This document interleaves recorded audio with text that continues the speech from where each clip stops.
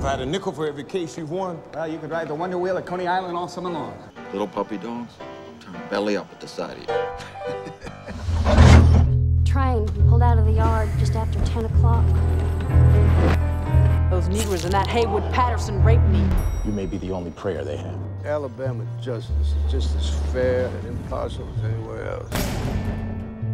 You go down there, you'll come back a head shorter. What's a northern lawyer doing south of the Mason-Dixon? I'm defending the Scottsboro boys. What they need is a, a rope wrapped around their skinny necks. I have come down here from New York to give these boys a